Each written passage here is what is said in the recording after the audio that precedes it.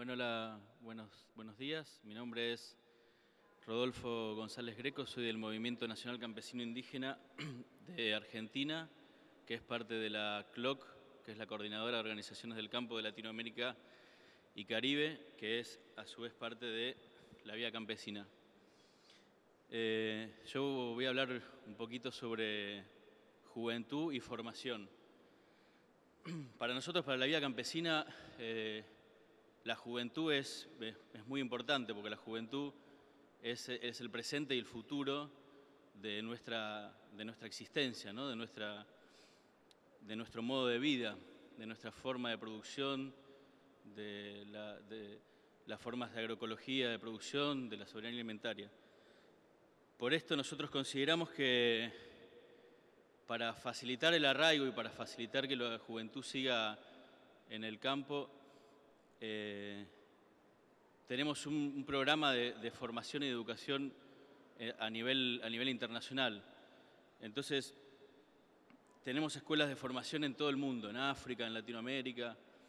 Eh, para contar un poco sobre Latinoamérica, que es, eh, mi, región, tenemos varios institutos de agroecología, que son los institutos de agroecología de Latinoamérica, en el cual formamos a los jóvenes, a la juventud, en cuanto a la, agroecología y la formación política. Siempre, siempre para nosotros la formación no es solamente técnica, sino también es política, ¿no? sobre todo para la juventud. Eh, en Argentina nosotros estamos con un proyecto que está, que está en marcha, que es la Universidad Campesina. Creemos que, que el campesino debe tener una universidad propia con una forma de estudio propia del campesinado. La experiencia previa a la escuela, a la, Universidad Campesina son nuestras escuelas de, agroecología que tenemos en todo el país. Tenemos cinco escuelas de agroecología y estamos por conformar dos escuelas más de agroecología. Lo, interesante en donde yo digo que, eh, que la formación también universitaria debe tener una formación campesina es en este sentido. Las escuelas de agroecología en Argentina tienen una forma que es una semana, eh, una semana de teoría, digamos, donde todos los, chicos confluyen en la escuela y tres semanas de práctica en sus, hogares, en el campo. Y esto es lo que, lo que facilita es el arraigo de, los jóvenes a, la, tierra, a la comunidad. ¿no? Entonces, el, modo de formación que nosotros, que nosotros proponemos que facilita que los, que los jóvenes se queden en la escuela es ese. Es una semana, una semana de teoría y tres semanas de práctica en las cuales pueden seguir, eh, pueden seguir con la producción, pueden seguir produciendo, produciendo y en el cual se va complementando la teoría con la práctica. Eh, eh, entonces los jóvenes se llevan, se llevan tareas que, las van a hacer prácticas ¿no? y que van a fortalecer la producción, y con esa práctica se vuelve a la teoría. Entonces es ese ciclo de, teoría, teoría práctica y de acción y reflexión que proponía también Paulo Freire, ¿no? Es eh, una forma de, formarse. Entonces, eh, la, Universidad Campesina que nosotros proponemos también eh, tiende a, buscar una forma de formación que apoye que el campesinado no se tenga que ir a las grandes ciudades a estudiar, y, por otro lado que estudie algo que realmente favorezca al arraigo, porque lo que suele suceder es que si algún campesino tiene la oportunidad de salir a estudiar a la universidad o a estudiar las escuelas secundarias, que muchas veces en las comunidades no hay, es difícil que vuelva porque se tiene que ir durante seis años, siete años. Eso hace que ya se pierda la producción, que se pierda la, forma de vida y que, que, aparte estudien algo que realmente no tiene nada que ver con, el modo de vida del, campesino.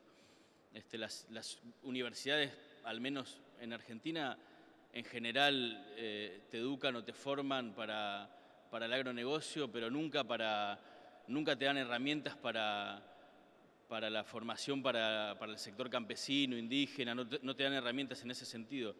Es muy, muy poco lo que se puede encontrar. Entonces, eh, la formación universitaria en las, en las, grandes universidades históricas en Argentina no, no son la solución de la formación para nuestros jóvenes. Por eso nosotros buscamos alternativas en Argentina y en Latinoamérica también, ¿no? con, los, con los institutos de agroecología.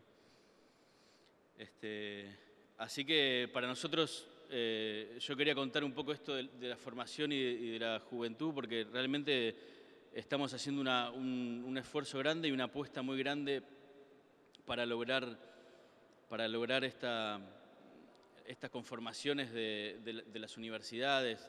necesitamos avanzar en ese sentido.